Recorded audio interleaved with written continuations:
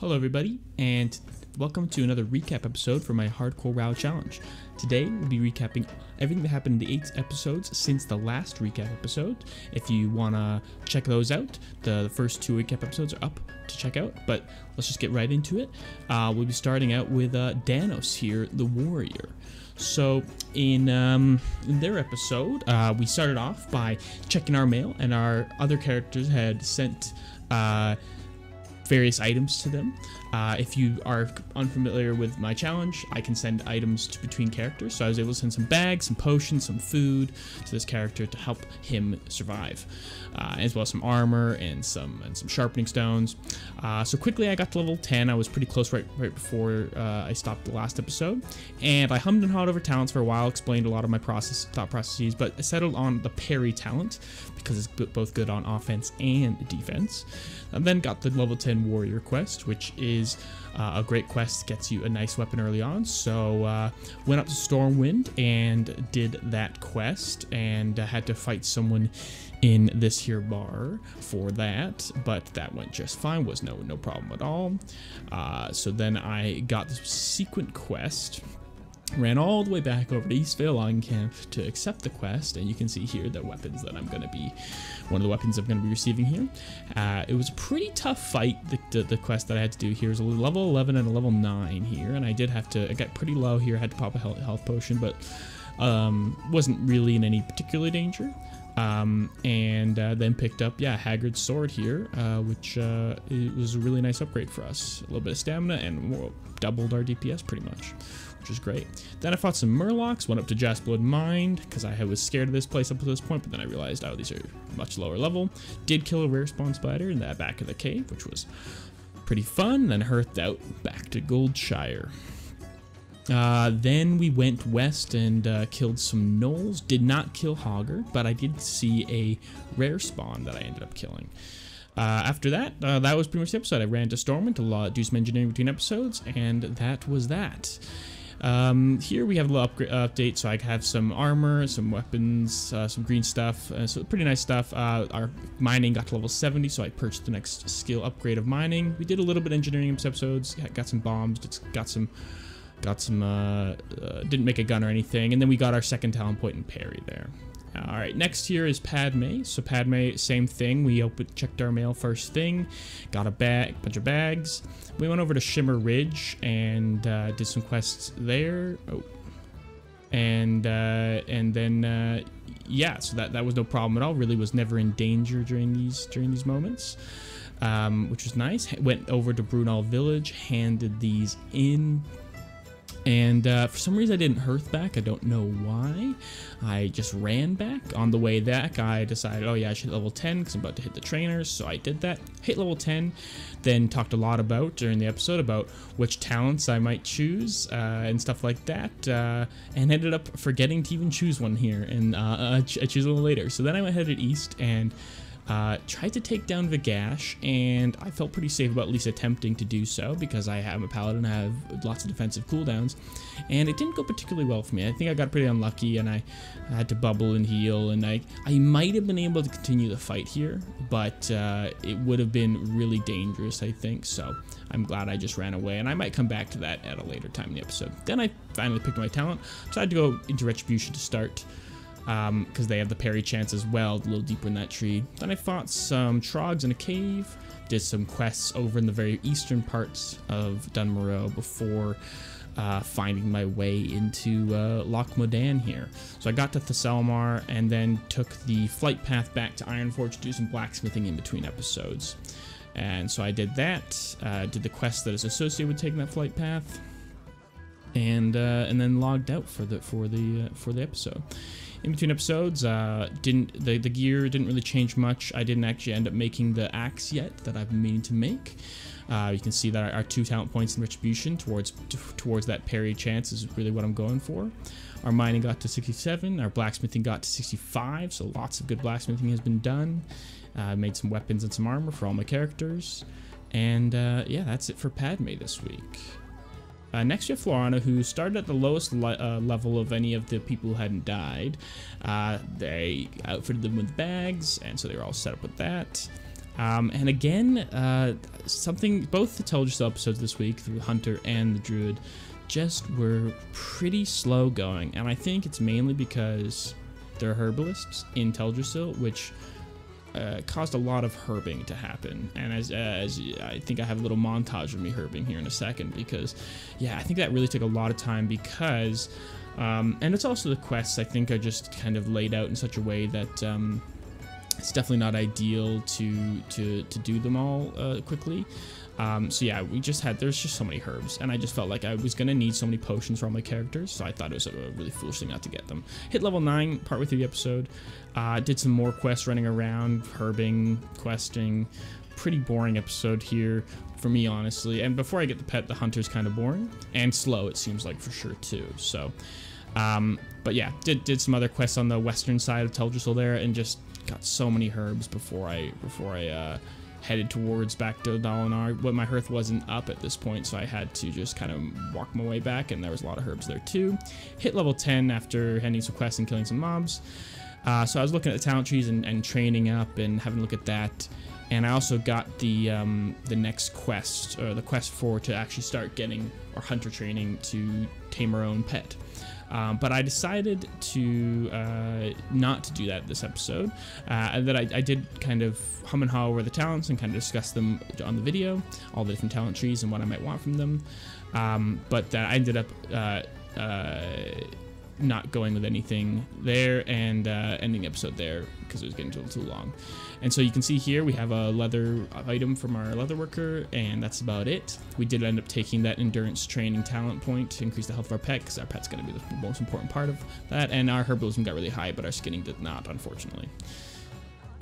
Okay, for Hamical, uh, he's, he was an Ironforge, so I did make my way to Ironforge, and I took the exact same route as the Paladin. Really didn't deviate in any way, so I'm not going to go over all the ways I did those things. I got to level 10, and uh, talked to Beef briefly about the different potential talent trees. Really, there's only Fire or Frost as, as, as potential talent tree choices. Um, but I ended up going with uh, with the Frost talent trees eventually. Um, I went over to Vagash though and tried tried tried this on this character as well, and I thought, you know, I think if I just run and Frostbolt and run in Frostbolt, I should be able to really not really get hit, and that ended up being the case. I was able to kite him back to the road, and actually got even got this guard for help, which I don't think I think I could have. I think I would have been fine, but as you can see, I'm pretty low on mana here, so I think it would have been pretty tough. And the guard just helped me out get the last couple hits. Uh, which was great. So I finished that quest, which was awesome. Got some nice pants and uh, and and a good chunk of XP. Then I had a little hairy moments in the cave. Nothing like not, I didn't really have a moment where it was like I was gonna die, but just like, lots of mobs around me all the time, respawn and stuff like that. But it was okay. Went to Loch Modan, got to the inn, logged out for the for the week. Um, and uh, yeah, that was pretty much it for Hamical. In between episodes, though, I did a ton of stuff, and you can see here I have some some green items that I made for myself and, and found and got quests for. But you can see that my tailoring is level 70. Uh, it goes to show how much I made so many bags. Like all my characters have full bags now, and I'm ready to kind of use linen for other things now. And then so you can see that I went two talent points into elemental precision because re uh, people resisting your spells is, is really bad early on. Alright, so now we have Rhoda here, our rogue, who uh, uh, got to back to level 6, kind of restarted them on the last episode. We got a bunch of potions, got a new dagger, got some bags, so they were all set up ready to go, and pretty much did the same normal route, going in, you know, doing the board quest and all that stuff, going into the cave.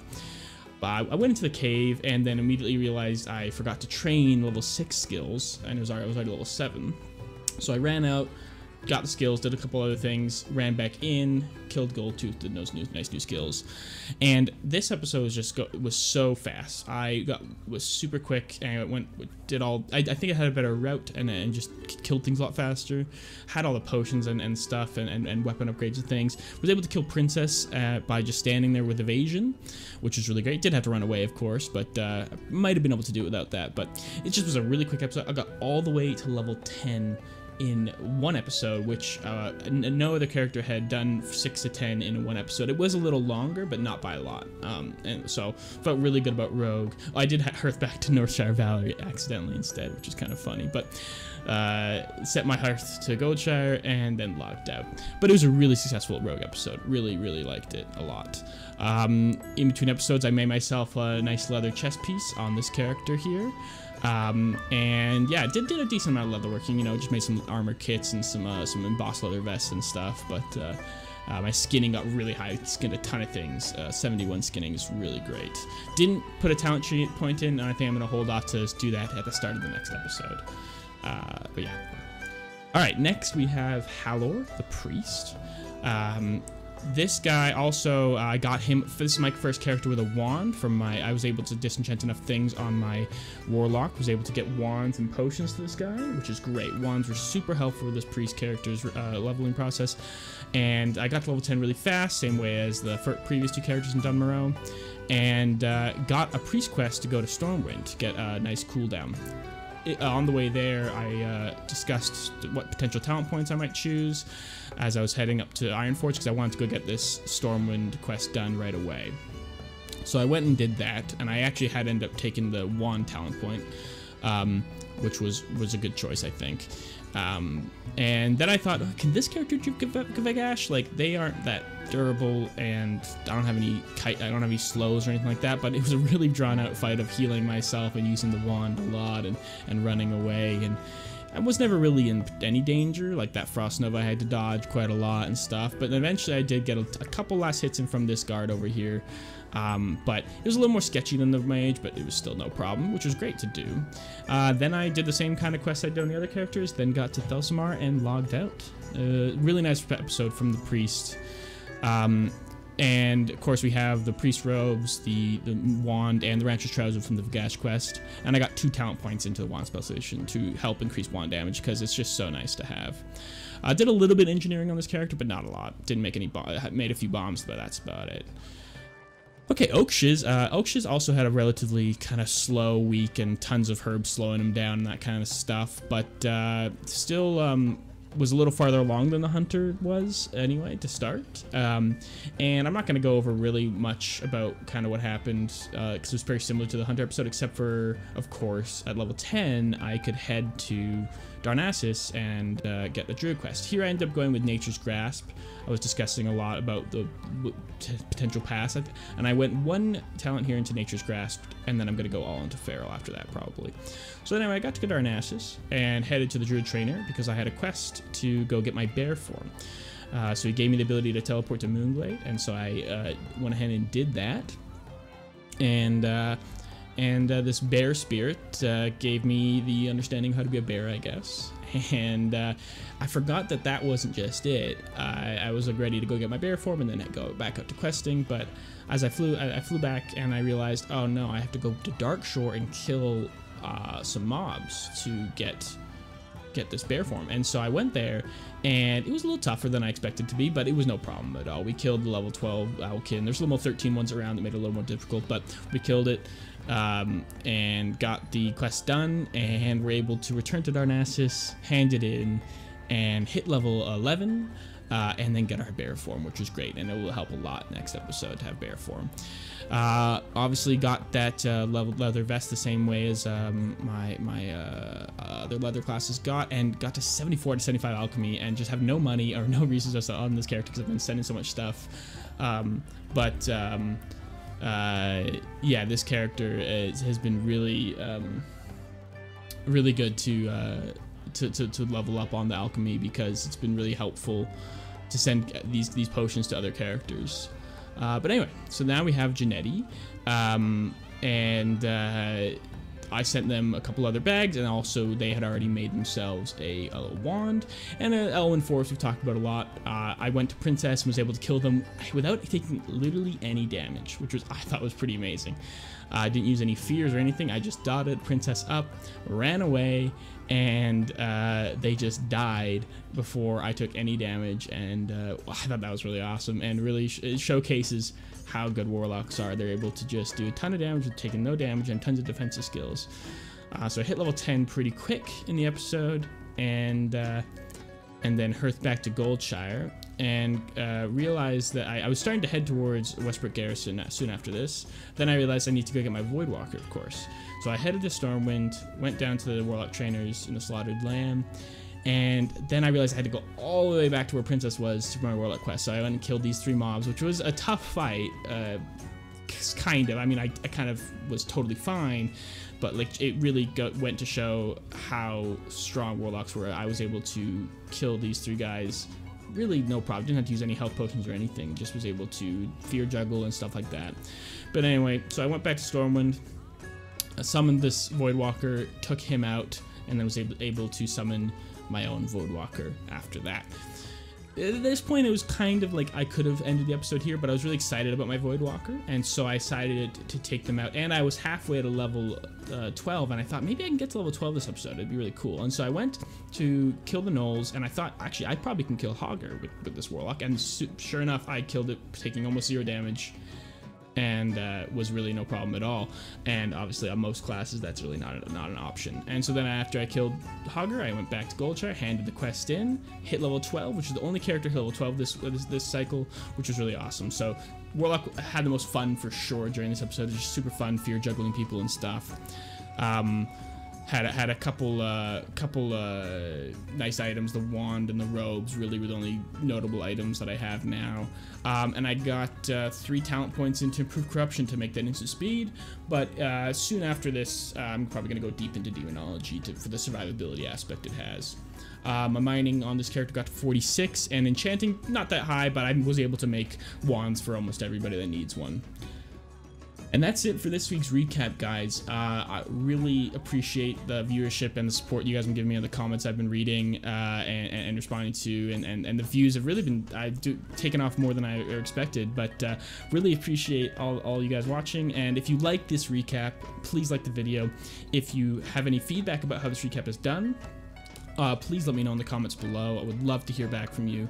Um, and of course, if you want to see the more videos, if you want to see the actual episodes, please subscribe. I release them every day. Uh, if you want to see these recaps only, uh, there'll be a playlist I'll be making for these recap videos. So you'll be able to check on the playlist and see, oh, there's a new recap out. Uh, because I know that these recap episodes are a lot shorter than the episodes themselves. So it's a way for people to keep in touch with the challenge without having to watch every single episode in its entirety. But anyway, that's it for me, this recap episode. Thank you so much for watching. Hope you enjoyed it and I'll catch you guys next time.